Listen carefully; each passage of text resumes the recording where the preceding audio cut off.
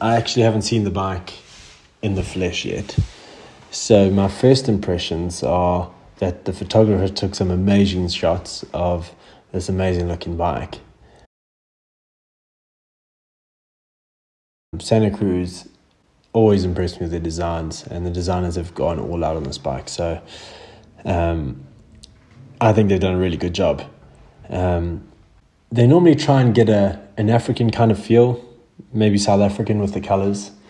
Um, but generally, I just leave it up to the designers. You know, um, that's what they do for a profession, and uh, I just think that they do really cool concepts and, and, and a good job on the bike. So I leave it all up to them.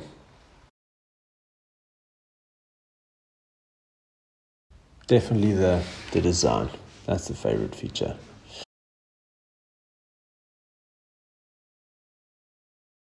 We don't have too many component changes this year.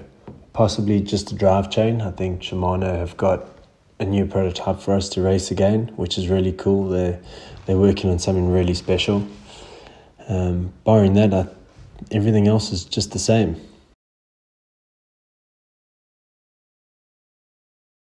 The new bike is identical to what I had last year.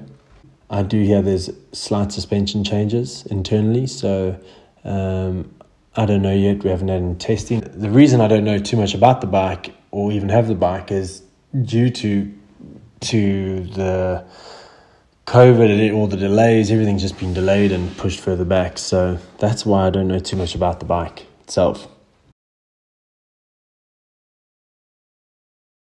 I have tested the mullet, um, but I'm to stick to 29. The V1029 just feels really comfortable to me.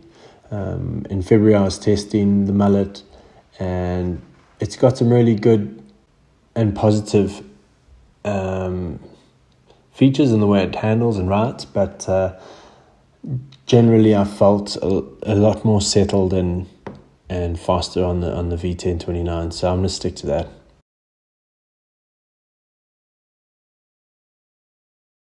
Tires are definitely one of the most important com- uh, components to the bike. You know, you have um, that's your contact with the ground, and you need as much traction as possible. Um, so yeah, I do feel tires are super important.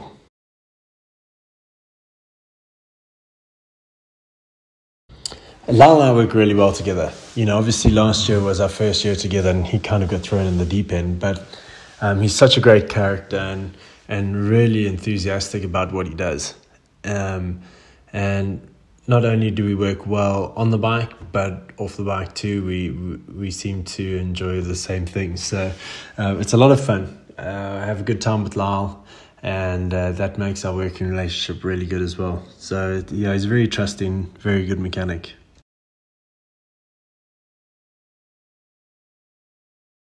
I'm looking forward to racing generally. You know, uh, I was a bit disappointed Fort William wasn't in the schedule uh, due to COVID, but um, just I just want to get out racing. I've had such a good off season training, and then unfortunately I got COVID, so I had a bit of a break. But um, I'm feeling good again. My training's going well, so I'm feeling strong. I haven't ridden too much downhill just yet, so I need to get cracking on that. But uh, I, I, uh, yeah, I just want to get racing.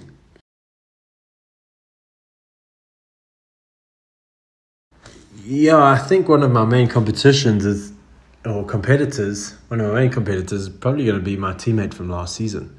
I mean, Loris is, was just on fire last season and unfortunately didn't end well, but damn, did it start well.